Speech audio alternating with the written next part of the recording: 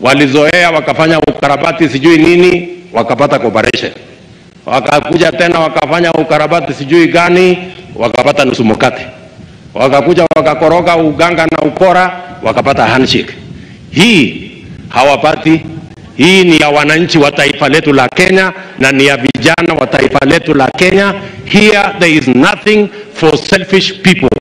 There is nothing for people who are looking for positions and businesses for their families and interests of their families. There is nothing in this government. There is everything for every young person, every citizen of the Republic of Kenya who is looking for an opportunity for them to make a contribution to the well-being of our nation.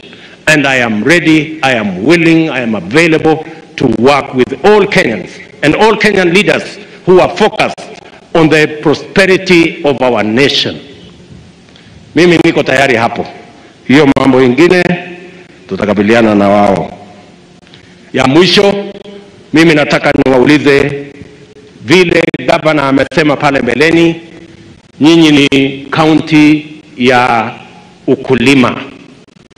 Nataka upange gavana, kwa sababu maziwa ni moja ya economic opportunity tuko nayo hapa Narok.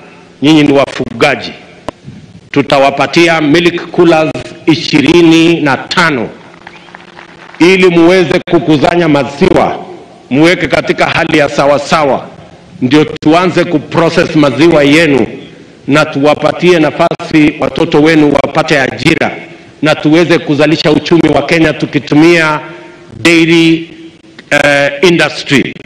Kwa hivyo mjipange, kuanzia mwezi wa sita tutakuwa na milk coolers ambazo tutaleta hapa ndio muweze kutumia kukusanya maziwa.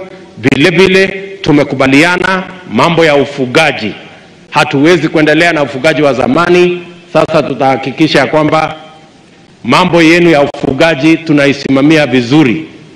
Mambo ya abattoirs tutakubaliana na nyinyi ndio tuweze kwenda safari hiyo tukiwa pamoja.